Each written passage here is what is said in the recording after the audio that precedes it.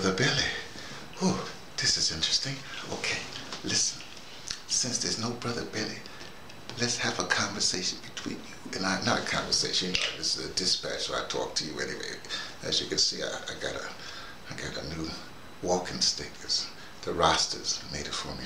It's blue and white because that's a, I'm a child of a goon, you know, and blue and white is goon's colors in, in Africa and also in Brazil. Now, usually I'm red, black, and green. That's a goon's color in North America where I, I hail from. Anyway, that's not what I want to talk about today. Look, I was hanging out, well, with my research group in Dimbaza yesterday.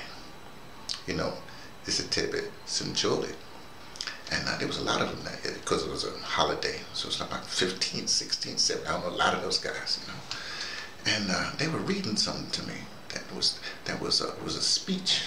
I think it was by uh, was that guy P.W. Botha, you know the bad guy in the bad old days of apartheid. You know, I think the speech was from like 1985. They was just reading the, the parts of the text.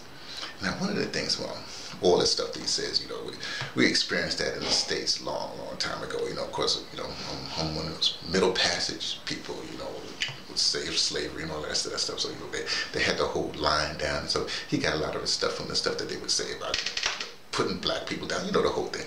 Anyway, that's not that's not what the issue was.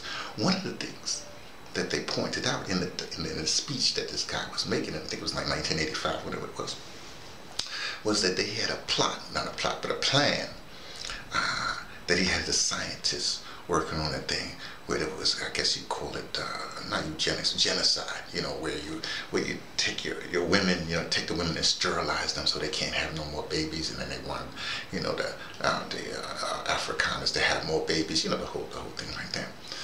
Now, I was pointing, and then, then of course those guys was pointing out that today, you know, they have those birth control things that you can stick into yourself, and then the woman is, you know, can't have children for three years and all that stuff. When I was pointing out to them, well, they needn't bother with all that. Oh, you say, well, you need bother with that. You know, you're sticking things, you know, girls can't no babies, blah, blah, blah. I said, they needn't bother with all that. Because I read a, a thing recently where they say down South Africa has now surpassed, they, they, they has surpassed uh, the number one drinking society in the world. The number one drinking society was Australia, but now South Africa drinks more than Australia. You got to be really a big drinker to drink more than Australians. I travel around. I met some Australians. They drink. they, they, they, drink. They some. So if you're drinking more than Australians, think what's happening. Hey, that means that you know all that stuff. Not only drink, but all them kind of drugs and all that stuff is getting in your system. That means when you have a baby, you might have a baby. More than likely, you will have a baby to have a defect, a defective children. That's more devastating than not having any children. Because now you got to care for them. Even if the parent don't care for it, the society has to care for that defective child. I know that because remember my other research group aside from uh, the people in Dimbaza is a, is, is a, Unsamunkle. Uh, and that's with the, the children that are under 70, you know, IQ. And that's a lot of what they call fetal alcohol syndrome and all the rest of that stuff. So they, they have problems.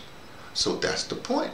If you have a society that everybody's drinking, men and women, it's not just women now, men and women, or a lot of drugs, men and women, what happens is that'll pass on to your genes, through your genes, through your, your chromosome, through your little sperm cells and, and your eggs, and you'll have a defective child. Then, well, you see what's going on.